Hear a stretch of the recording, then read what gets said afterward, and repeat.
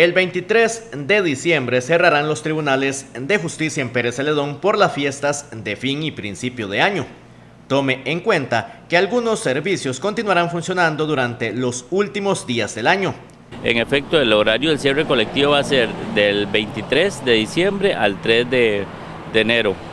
Eh, sin embargo, van a haber eh, unos despachos que trabajan de forma disponible, que son los eh, básicos como son el OIJ, la Fiscalía, Juzgado de Pensiones, todo ese tipo de despachos siempre va a brindar servicios.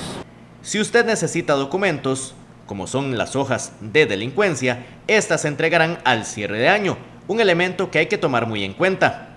Sí, tal como se hizo el año pasado, que no era la costumbre, eh, ahora se van a dar la última semana, o sea, del 30 al 3 de enero se están dando lo de los antecedentes penales y eso va a ser en la oficina de información de los tribunales de Pérez Celedón. A nivel nacional está disponible un número telefónico para realizar las consultas necesarias.